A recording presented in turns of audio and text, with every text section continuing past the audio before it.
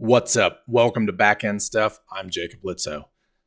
Today, we're moving forward to the next important function in our accounts.ex context file, the update function. This file, as you already know, holds the basic CRUD operations create, read, update, and delete. In our previous videos, we've built and utilized a factory for generating the data needed for our tests. And we will continue to use this to, in today's video. Remember, we always need two types of data when we are working with database tables, and that's valid and invalid. As our apps continue to grow, it becomes more and more important to maintain a single source of setup data. It makes our testing process easier, and in case we need to modify a schema definition, the single source is typically the only place that needs updating. Building on what we've learned, we'll continue to use our existing factory along with the ExMachina library. ExMachina is a fantastic tool that simplifies the creation of test data and associations, and it integrates seamlessly with Ecto. So let's dive in and learn how to effectively test the update function in our context file. Let's open up our project, Real Deal API. And if you haven't been following along on this project, you can find the GitHub repo in the description below. And let's just go back to our accounts underscore tests.exs file and right underneath our get account describe block, we're going to create a new describe block. And this describe block is going to be, you guessed it, update account. So describe update underscore account with an arity of two. Just so you guys are familiar with what function we're concentrating on today, let's go over to our context file. And right here, you see update account. How update account works is you pass in the existing account struct and then you pass in the parameters you wish to update. So pretty straightforward. And our first test is going to be a success test. We're following the same patterns we have in the last two videos. So we're going to write a success test and an error test. So we're going to do test, and then this is going to be success, and it updates database and returns the account. Straightforward, simple description so we know what it's doing. And the very first thing we're going to have to do is insert an account. And like we did in the last video, let's just do existing underscore account. And that equals, we can just use our factory again and do insert and then pass in our Atom account, which calls our account underscore factory function that we created in the very first CRUD video. Okay, so now we have our existing account and we want to update a piece of this account, right? Not the whole thing, just one parameter. So let's make another function with the parameters we want to update. So we're going to just call this params. And our account only has the hash password and email, right? So let's just uh, return down for readability sakes. And now we're going to use our factory just to get our account struct back. So we're going to use string underscore params for, and then send in our Atom account. And now instead of just directly inserting this object, we're just getting an account object or struct back. Let's just update our email. We don't want to update our password or anything. So let's just update our email. So the only thing we need from the factory account struct that we just got returned is email. And what we can do is just pipe in and do map.take, and then we can pass in a list of keys that we want to take. And in our case, we're just taking the email out. So there we go. That those per, that params variable right here holds a new email. Okay. So now to test that our update function works, um, we're going to do an assert. And when we update, we expect an OK uh, tuple. So we expect a tuple with an OK atom and then the returned account, which is the updated account in our case. All right. And then what we're going to do is call our context file. So accounts, and now we want to do update account. And like I said, it takes our existing account that we're updating. So we can just, we pass in the whole account object and that's existing. We created that on the first line of this test. And then we want to update just the email, which we have in our params variable. And there we go. So now this test, this assertion test will pass as long as our pattern matches. So as long as we get an account here and an OK tuple, this test will pass. Now we want to fetch the account from the database because we want to test against, we want to make sure that our returned account here from update matches what's in the database. So if we do, a, let's call this variable account from database, and now we can just use repo.get and pass in our account schema and then an ID from our returned account. So returned account.id. All right, so now we just fetched or queried our account struct from our database table. And now all we want to do is make sure that the returned account from the update function in fact matches the account that we just pulled from our database.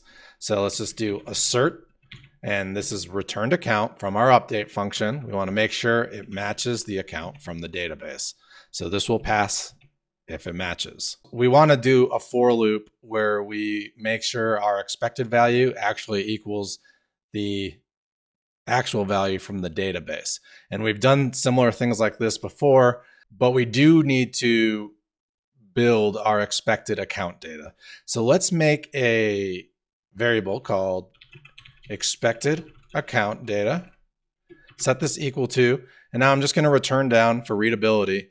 And we can take our existing account that we created on the first line of this test but we have to we have to make a few changes. So let's first um, do a map dot from struct, and what that does is so from struct just uh, creates a map out of a struct so we can use our key value pairs or our key values. And then we need to pipe in the only thing that we have to change here is the existing account is no longer our updated account or account from the database because we changed the email. So we have to do map.put and we have to insert our updated email. And we can do that with Atom email. And then we can grab the params um, and grab the email right out of that and insert that into this, this map now. And that's all we have to do. And now we have our expected value. So this account data has never gone to the database, right? So it hasn't gone through update or anything. We're just taking the values we expect to be there. And now we're going to do use a for loop and just make sure that they are truly there. So if we do for and we want to pattern match and grab our field and expected value from our um, expected account data. So we're looping through all the fields in our expected account data.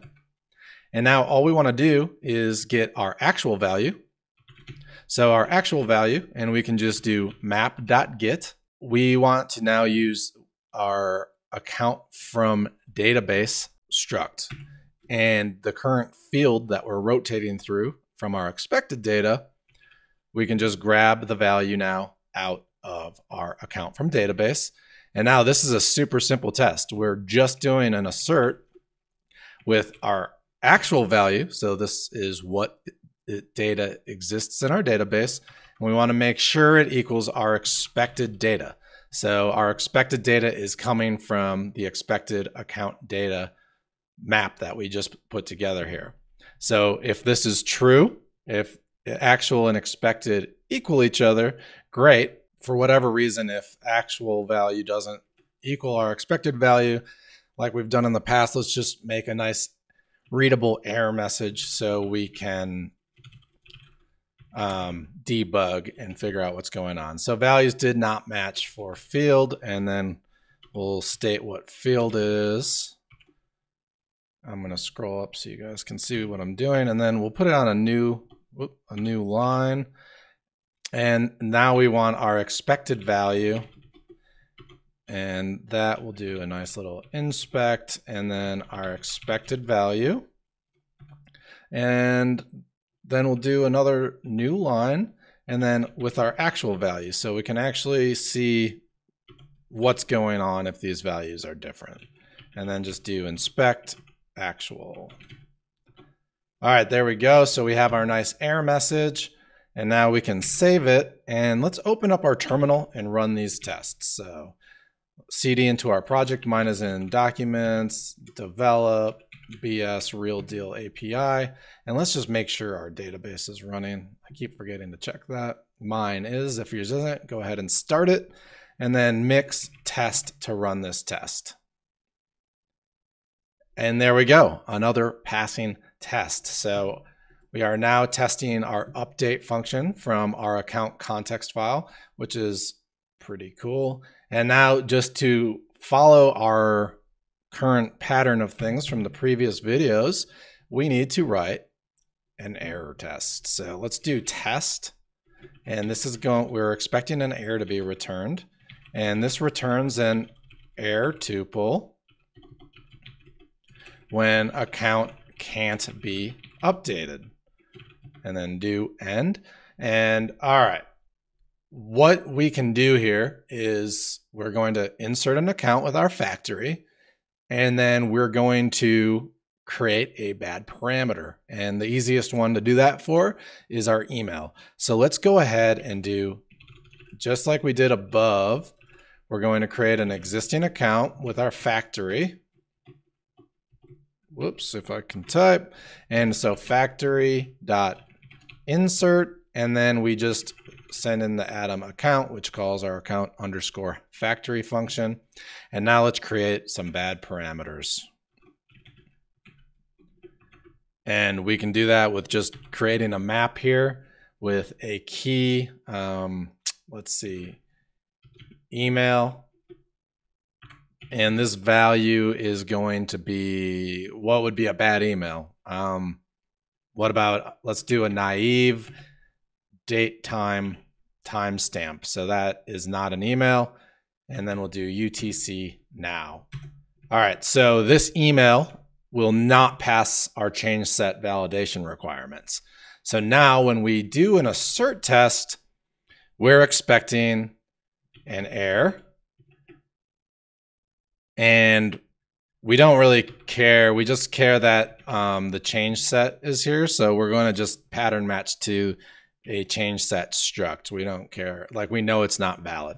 So we're just going to now do accounts dot and call our update function. And we're going to pass in our existing account and try to update the account with bad parameters. As long as we get an error back, this test will pass. And then one more thing we want to do is we want to take existing account and fetch the existing account from the database to ensure that it wasn't updated with our bad parameters.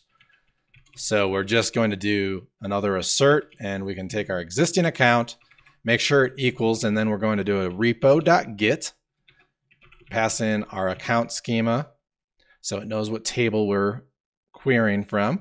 And then we're going to fetch our existing account.id.